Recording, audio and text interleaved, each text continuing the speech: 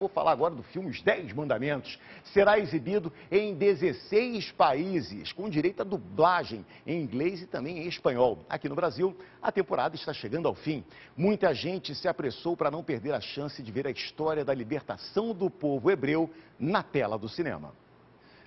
Seis semanas em cartaz e Moisés ainda tem fôlego. Por isso você sabe o que vai acontecer.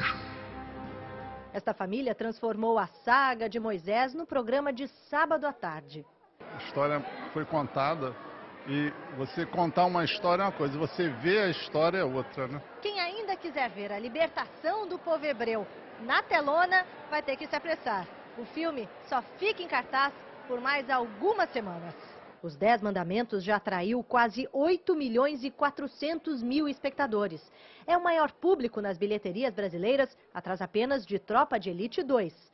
O filme também bateu o recorde de pré-venda e do número de lançamento em salas do cinema nacional. Dez Mandamentos trouxe uma novidade para o cinema brasileiro. É um filme bíblico e um filme épico, o que é diferente da maior parte dos filmes que a gente vê, que a gente vê no cinema. Mostra que com um investimento certo, com uma produção bem feita, com efeitos especiais, com coisas que as pessoas querem ver, é, é um investimento que vale a pena, sim. Eliana trouxe a neta, Ana Clara, para assistir. Ela estava querendo ver faz tempo, me cobrando e eu não conseguia trazer.